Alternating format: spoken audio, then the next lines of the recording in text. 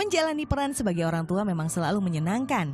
Hal ini pula yang dirasakan oleh Ricky Harun yang selalu memantau perkembangan anak keduanya yang terbilang sangat cepat di usia yang kedua bulan.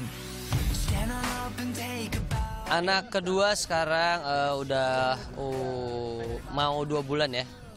Uh, perkembangannya sih masih masih masih bayi banget jadi dia masih kayak tidur lebih baik tidur terus sama minum susu asi gitu kan. Jadi belum banyak uh, pergerakan-pergerakan. Tapi dia pertumbuhannya sih bagus.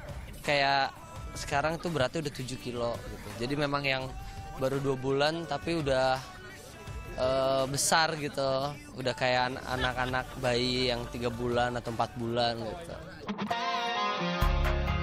Memiliki anak yang sehat, aktor 29 tahun ini mengaku hanya memberinya ASI dari sang istri untuk mencukupi kebutuhan nutrisi sang buah hati. Namun bedanya pasangannya harus berkomitmen mengkonsumsi suplemen sehat untuk memberikan kualitas ASI yang baik. Gak ada gizinya paling cuma ASI.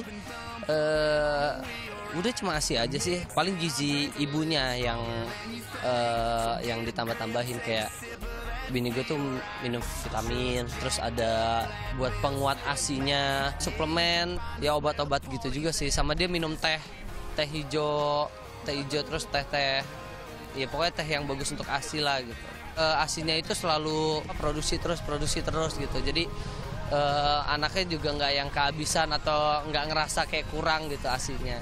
Itu kayaknya dia tahu dari temennya deh gitu dan dia dapat uh, tehnya dan apa suplemennya itu juga dari temennya jadi terus nyokapnya juga suka apa ngasih tahu bagusnya tuh minum ini minum ini biar asinya tuh bagus gitu.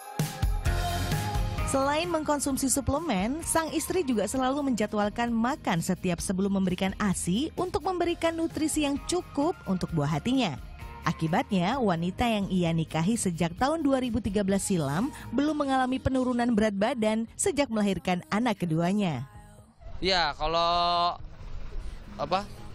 Bini gue tuh selalu makan kayak setiap sejam makan, sejam makan, sejam makan. Kalau uh, anak mau nyusu, bini gue pasti minum apa makan dulu gitu biar aslinya tuh berasa gitu.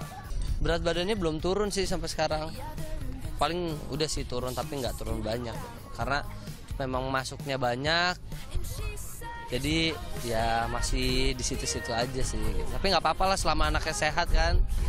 Kan kita juga nggak mau kalau misalkan apa eh, gara-gara uh, kita pengen kurus jadinya apa gizinya kurang jadi anaknya juga kurang asupan yang benar kan. Jadi guanya juga nggak yang ih kamu apa uh, kurusin dong. Nggak gitu gitu. Jadi ya udahlah